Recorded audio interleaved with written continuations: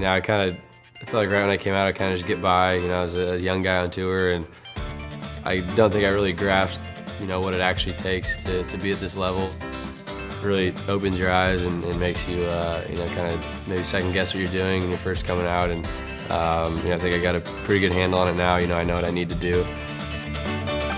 For me, especially uh, this offseason, I want to try to work on, you know, my shoulder strength, you know, flexibility a lot more. So you see the rope stuff that just that gets the full forearm and, and shoulder and, and, back.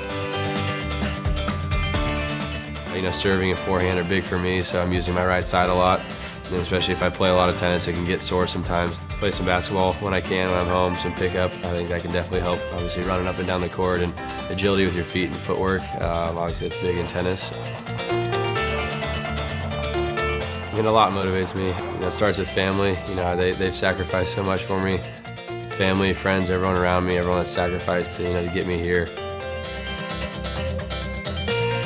I think I made great progress this year in a lot of ways, on and off the court. You know, I think I matured in a lot of ways, you know, to represent the U.S. and you know, everything it stands for to be there, you know, having a medal around your neck. You know, that was a very, you know, surreal and incredible moment for me in my career. This next year, I definitely want to compete to try to win some more titles.